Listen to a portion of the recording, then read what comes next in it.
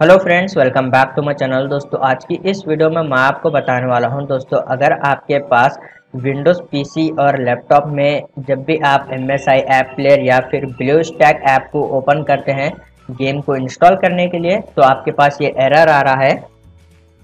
M S I app player is currently limited to using one C P U core on your PC तो आप इस error को easily remove कर सकते हैं। दोस्तों, ये एरर इसलिए आता है, आपके पीसी में वर्चुअलाइजेशन टेक्नोलॉजी अनेबल नहीं होने से आपके पास ये एरर आ सकता है।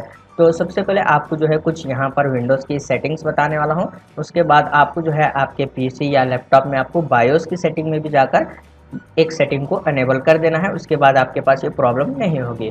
तो वीडियो को एंड तक देखते रहिए। सबसे पहले आपको जो है विंडोज़ के सर्च बार में टाइप करना है कंट्रोल पैनल। उसके बाद आप इसको क्लिक कर कर ओपन कीजिए।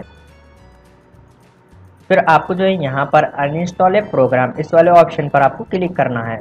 फिर दोस्तों, आपको यहाँ पर टर्न विंडोज़ फीचर ऑन और ऑफ़, इस वाले ऑप्शन पर आपको क्लिक करना है।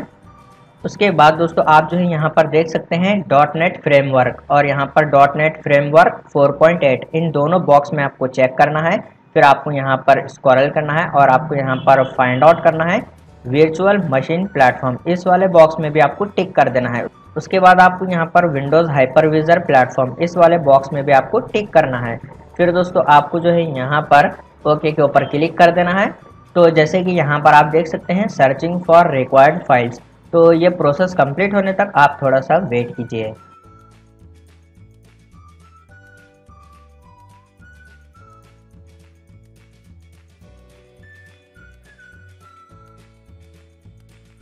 तो अभी यहाँ पर ये जो पीसी है रीस्टार्ट करने के लिए बोल रहा है तो मैं यहाँ पर पीसी को अभी रीस्टार्ट नहीं करने वाला हूँ। उसके बाद आपको टास्क मैनेजर को राइट क्लिक करना है, फिर आपको यहाँ पर टास्क मैनेजर के ऊपर क्लिक करना है। उसके बाद आप जो है यहाँ पर परफॉर्मेंस वाले टैब में आइए, और आपको जो है यहाँ पर सीपीयू में यहाँ पर आप देख सकते हैं वर्चुअलाइजेशन तो यहाँ पर ये डिसेबल है, आपको शो हो रहा है डिसेबल तो आप इसको यहाँ पर से क्लोज कीजिए, ये ऑप्शन अभी एनेबल नहीं हुआ है। तो अभी यहाँ पर मैं अपने पीसी को जो है शट डाउन कर लेता हूँ। ओके यहाँ पर शट डाउन के ऊपर क्लिक कर कर इसको शट डाउन कर कर बायोस की सेटिंग में जाना है अभी आपको। सिस्टम को शट डाउन करने के बाद आपको जो है यहाँ पर बायोस की सेटिंग में जाना है। तो मेरे पास लेनोवा का लैपटॉप है तो यहाँ पर साइड में एक बटन है। इसको थोड़ी देर के लिए होल्ड करना है, उसके बाद यहाँ पर बायोस की सेटिंग का ऑप्शन आ जाएगा। तो अभी यहाँ पर इसको ओपन कर लेते हैं। तो जैसे कि यहाँ पर आप देख सकते हैं, बायो सेटिंग जो है, शो हो रही है। बायोस सेटअप के ऊपर आपको जो है, क्लिक कर देना है। यहाँ पर बायोस सेटिंग ओपन हो जाएगी। फिर आपको यहाँ पर बायोस की सेटिंग में कॉन्फ़िगरेशन वाले टैब में आना है। अभी आपको यहाँ पर बताने वाला हूँ। तो आप यहाँ पर देख सकते हैं, ये कॉन्फ़िगरेशन वाला टैब है। आपको यहाँ पर आना है और आप यहाँ पर देख सकते हैं इंटेल वर्चुअल टेक्नोलॉजी ये मेरे पास ऑलरेडी डिसेबल है। आप इंटर प्रेस कीजिए। ऑप्शन आपके पास आ जाएगा। फिर यहाँ पर एनेबल सेलेक्ट कीजिए, उसके बाद आप फिर से इंटर प्रेस कीजिए। यहाँ पर आप देख सकते हैं इंटर विजुअल टेक्नोलॉजी एनेबल हो गई है। उसके बाद आपको इसको सेव कर कर एग्जिट कर देना है। Function plus F ten key press कीजिए, यहाँ पर ये सेव होकर एग्जिट हो जाएगा। तो उसके बाद आपको यहाँ पर तो यहाँ पर आपके पास ये इस तरीके से शो हो जाएगा। आप इंटर प्रेस कीजिए। तो आपका पीसी यहाँ पर रीस्टार्ट हो जाएगा। तो आप थोड़ा सा वेट कीजिए पीसी रीस्टार्ट होने तक।